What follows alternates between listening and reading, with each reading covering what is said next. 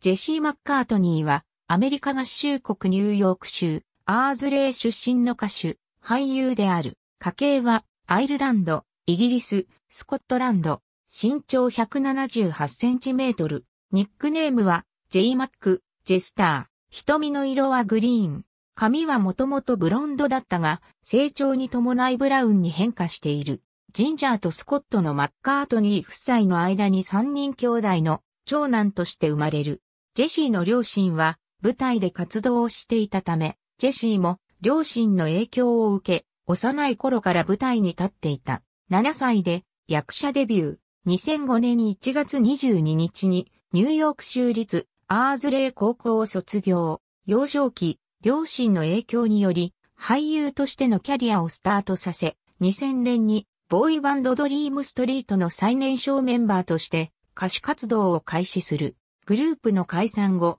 2004年にファーストアルバム、 Beautiful Soul を発表し、ソロシンガーに転向。2006年には、セカンドアルバム、 Right Where You Want Me を発表。2007年には、自身のセカンドアルバム収録曲として、ワンリパブリックのフロントマンライアンテダーと共作した楽曲、 Bleeding Love が、セカンドアルバムのコンセプトに合わなかったため、イギリス人歌手レオナ・ルイスに提供。イギリスでナンバー1ヒットとなると、ビルボードチャート20年振りの英国人1位を含む28カ国以上で1位という大ヒットとなり、プロデューサーとしても名を挙げている。2008年5月にトリッキー・スチュワート、ショーン・ギャレット、JR ロテムら旬のプロデューサー陣を招いて制作された2年振りのサードアルバム、 Departure を発表。先行シングルの Leavin' が全米シングルスチャート自己最高の10位とスマッシュヒットとなっている。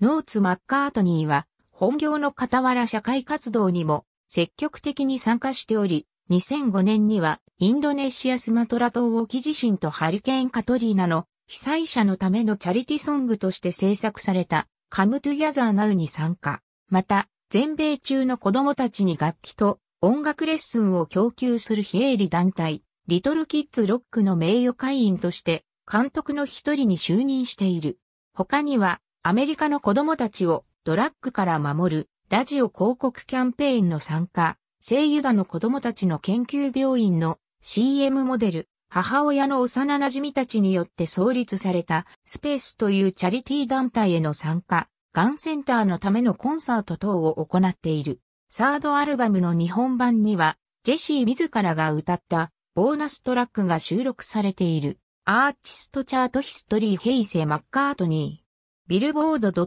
.com。2009年2月14日時点のオリジナルより、アーカイブ、2008年6月26日閲覧、 Beautiful Soul Chart Positions。 aCharts、us、2008年6月26日閲覧、 She's No You Chart Positions。aCharts、us、2008年6月26日閲覧、 Get Your Shine On Chart Positions。 aCharts、us、2008年6月26日閲覧、 Right Where You Want Me Chart Positions。 aCharts、us、2008年6月26日閲覧、 Just So You Know Chart Positions。 aCharts、us、2008年6月26日閲覧、ユーロ200アーカイブ。apccHart.com 2008年6月26日閲覧ありがとうございます。